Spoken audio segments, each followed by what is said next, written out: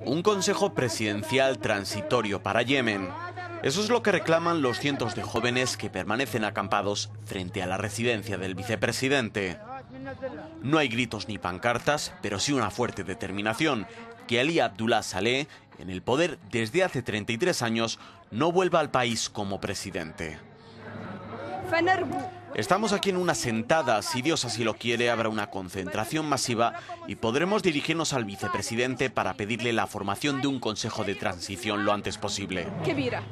Desde Riyadh se asegura que Ali Abdullah Saleh se encuentra estable tras ser herido el pasado viernes en un bombardeo contra el Palacio Presidencial. El sábado fue trasladado a Arabia Saudí, donde los médicos le retiraron la metralla que tenía incrustada en el cuerpo.